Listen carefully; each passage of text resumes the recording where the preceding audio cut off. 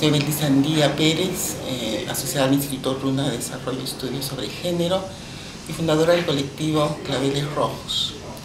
Bueno, aquí en la institución en Runa eh, desarrollamos el programa de diversidad de género y sexualidades, que aborda fundamentalmente la defensa, y la promoción de los derechos de las personas transgénero, ¿no? travestis, propiamente las personas transgénero y las personas transexuales. Bueno, es una lucha que eh, se ha iniciado, tiene pocos eh, años de desarrollo y, y, tenemos grandes desafíos por delante. Hace poco has participado en el cortometraje de Claudia Llosa, ¿verdad? Sí, la filmación se dio en el mes de julio. Fue una semana intensa de filmación de 6 de la tarde a 6 de la mañana. Y después de eso tenía que venir acá a la oficina, trabajar y dormir unas horas. En realidad fue bastante extenuante, pero muy, muy interesante, muy aleccionadora la experiencia. Bueno, mi primera experiencia como, como actriz también. ¿Cómo fue que te contactaron para participar en el corto? Por intermedio de una amiga con la que estuvimos eh, realizando un proyecto, me pasó la voz que Tito, el el encargado del casting, eh, quería entrevistar a, algunas activistas. Pero más mi interés era por ver cómo se iba a abordar el, tema de la población este, transgénero. Y fui a conversar más que nada, como te digo, por enterarme, ¿no? Porque el enfoque siempre se hace de una manera muy superficial, en sitios comunes, y que no ahondan de ninguna manera en en la problemática me gustó más o menos el tema que no estaba muy bien definido, conversamos y, se fue perfilando el, el, guion. Y me dijo, bueno, pues vamos a hacer una prueba. Leí el guion, eh, estuve, digamos, ensayando algunas escenas y me dijo que regresara cuando Claudia viniera, porque él estaba simplemente adelantando algunas entrevistas. Bueno, cuando vino Claudia me entrevisté con ella y me dijo, que en todo caso eh, me eh, convocaría el día siguiente. Y así lo hizo, me convocó el día siguiente, firmamos un, contrato y, y, se dio la, la filmación. Sí. ¿Y qué tal tu experiencia de trabajar con ella? Muy buena, porque bueno, yo no, he tenido antes una experiencia en, en, actuación, algunos intentos que nunca los pude concretar, eh, pero sí hice ballet en San Marcos, en la Academia de Marina en la Casona. Pero ah, con ella fue muy sencillo, con toda la experiencia que tiene el manejo de actores. Eh, me sentí bastante cómoda, pero había un conflicto, porque tengo una formación más política, entonces es una uh, situación diferente, porque es una contención de, de, impulsos, sentimientos, tú no puedes desbordarte. En cambio, en, en la parte artística tú más bien este, eh, das eh, rienda a tus eh, sentimientos, tus emociones. Entonces es una cosa bastante conflictiva para mí. Me sentía muy, muy corta, pero conversando con ella hubo mucha, mucha empatía, tenía mucha resistencia llegada pues a, a, ciertas emociones este, mostrarlas. Pero con ella me sentí tan en confianza, logramos tal empatía como te comento que bueno, se fue dando, pero fue un trabajo fuerte. ¿Te costó ese proceso de actuación, Sí, me costó bastante y también este, la semana siguiente al, al rodaje estuve en, en, cura de silencio porque, claro, era cuestión de mover sentimientos, afectos que de alguna manera están ahí guardados, eh, cerrados, era abrirlos de nuevo. Y, y, y en efecto hay muchos episodios de violencia que he vivido y no solamente yo, como, como, población este, tenemos eh, muchas eh, situaciones de esta naturaleza, la misma discriminación. Entonces, volverlos a abrir cuando uno ya los ha cerrado, los ha cancelado, siempre te, claro. Entonces me costó una semana recomponerme y seguir con, la, con el trabajo, la misma rutina del trabajo me, me hizo salir de, de esa semana un poco inestable y bueno, a trabajar de nuevo. Cuéntanos un poco sobre tu papel. ¿Cuál era el papel que cumplías dentro de, del cortometraje? ¿Qué, qué sigue el, el guion estaba basado en la búsqueda de, de Makuti, la madre transgénero de su hija Mía, también una chica transgénero. Eh, Mía no, no vuelve a casa, porque suele salir todos los días, no vuelve a casa y ella se preocupa. Entonces está buscando en distintos espacios. Pero hay una carga de angustia tremenda porque ella teme lo peor, que es raro que ella nunca se reporte. Una llamada, con tanta tecnología que tenemos hoy en día, este, teléfono, el celular mismo, eh, pasa la voz para otra compañera, que una siempre está en contacto con, con otra gente, entonces le pareció este, no solo extraño, sino este, que podía ser el, el indicio de algo más este, terrible. Entonces por eso es que tiene esa carga tan fuerte de angustia, de desesperación, de desconcierto. Porque ella también ha vivido toda una vida, digamos, de exclusión. Eh, también ha sido una madre que, una persona transgénero que ha estado, digamos, en, en comercio sexual. Entonces sabe, digamos, los, los avatares de, de la vida, de, de, digamos, de, de esa situación de la prostitución, entonces, los peligros que están atribuidos a, a ello. Entonces, por eso, digamos, el, el motivo de, de, su angustia. Y además que hay un vínculo muy afectivo, porque suele darse este tipo de, de vínculos entre las personas mayores y las, y las, más jóvenes, ¿no? Algunas le dicen madre a, a las más adultas, y hay una relación de amistad propiamente, pero hay una empatía también muy, muy fuerte porque de alguna manera cuando uno se asume como persona eh, trans, eh, pierdes muchas veces a la familia, a los amigos, el entorno familiar y sustituyes esos afectos. Entonces son muy fuertes esos afectos también. Ya que estás hablando de estas muestras de afecto, por ejemplo, Claudia comentaba de que la mayoría de, de los que han participado no son actores. No. ¿Cómo fue trabajar todas las, con las chicas? Todas las chicas han sido este, amateurs, espontáneas. Eh, los que intervinieron en la primera escena de la violación de Mía sí eran tres, este, tres actores, uh -huh. sí. Pero todas las demás éramos espontáneas. ¿Qué tal fue trabajar con ellas?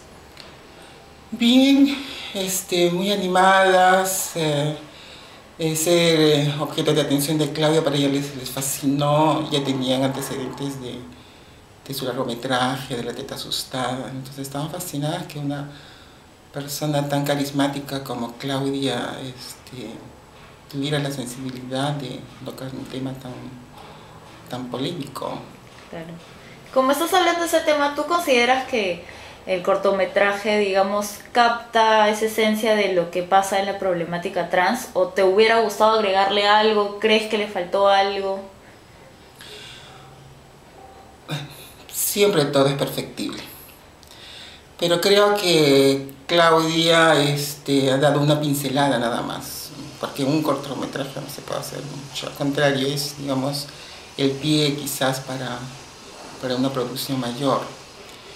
Eh, escenas este, básicas, que son los distintos espacios donde se desarrolla la vida de la, población trans, la violencia, que es, un hecho tan, tan marcado y esa zozobra, esa inquietud, el hecho, digamos, de, de no tener seguras las cosas, son situaciones que de alguna manera ayudan a descubrir un, un problema mayor.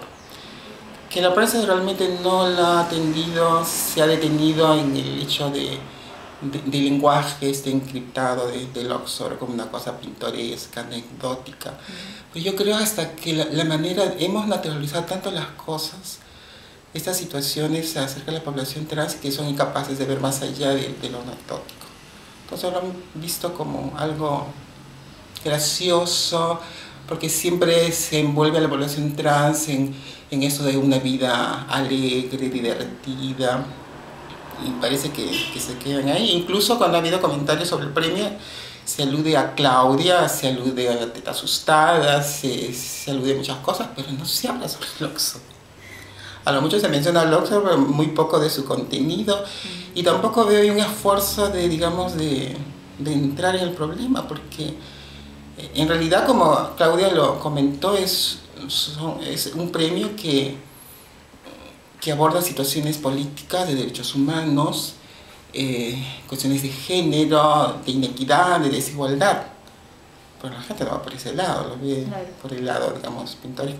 Porque estamos acostumbrados, acostumbradas a ver esta situación dentro del abordaje que, que le da la prensa, ¿no?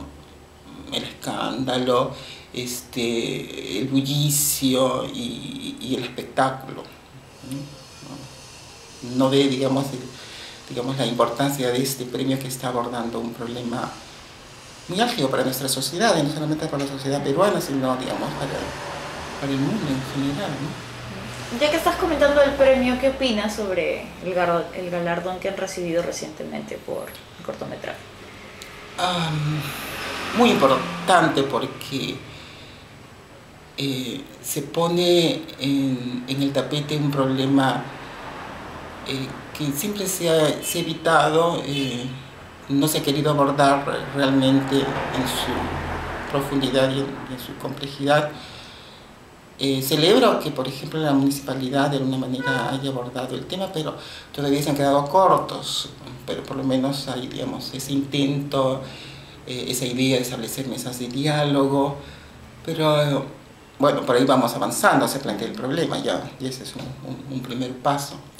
Y el hecho de que Claudia, digamos, haya escogido esta temática, que es una de las fronteras que tenemos en nuestras sociedades, eh, que determinan, digamos, poblaciones excluidas. Entonces, si estamos hablando de una democracia, si estamos hablando de una cultura de paz, tenemos que superar todos estos conflictos y respetar las diferencias. Em, luchamos contra, digamos, sistemas económicos que determinan eh, situaciones de extrema pobreza, pero tampoco creo que estamos muy animados a ver estos sistemas eh, de, sexo-género que, que, impiden, digamos, ver a, a, poblaciones que tienen otra forma, digamos, de asumir la vida.